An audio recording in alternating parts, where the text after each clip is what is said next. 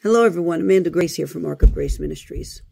So, back in 2020, December 28th, 2020, right after we saw what happened in the 2020 election, the Lord had me release a word. And I'm going to read to you an excerpt from this word because this is almost four years old now. And this word had to do with the 2024 election and would, what would come forth from that. And this is what it says. However, I, the Lord your God, am bringing forth a powerful move of my spirit, and those placed in position shall be the vessels for such that will evoke such change for the kingdom of God and for America. The once beautiful country who has become stained with the crimes and the blood and the blasphemous acts of the wicked. However, O America, I, the Lord, am washing your wounds, and a cleansing shall come over this land in a way not yet seen, where the people shall be broken from the bonds of the oppression and judgments of men and shall move toward holiness, toward crying out desperately for holiness, for purity, for truth, for stability, for that light that I created America to be, because I, the Lord, was the light shining forth from it. However, that serpent of old, the devil, has attempted to put it under a bushel, has attempted to extinguish that light completely and turn America into a complete forsaken wasteland of sin.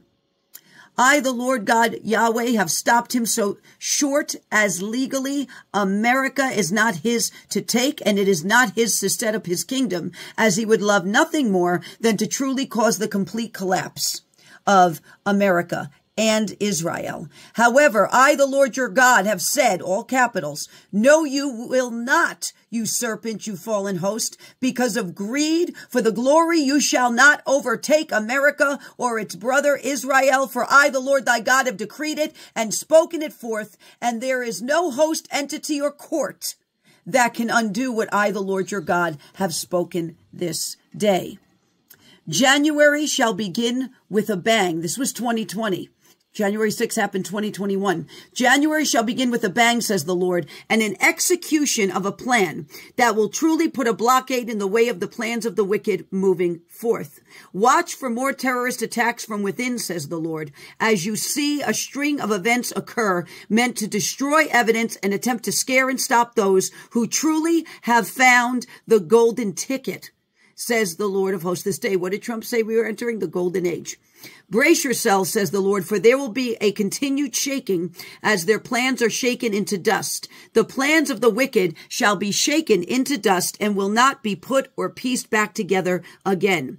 And says the Spirit of the Lord this day, I am going into the back office and bringing it to the forefront. And oh, the files that will be found. I, the Lord, am warning Mitch, Mitch McConnell to stop shaking hands and making agreements with the rich, for this is an hour where those in office shall be made transparent and, re- and revealed to the people what has been hidden away in their tents.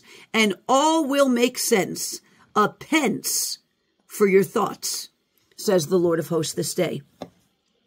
That was December 28th, 2020. And all glory be to God, we have seen what has now transpired in 2024. So be watchmen right now. Keep the faith. God bless.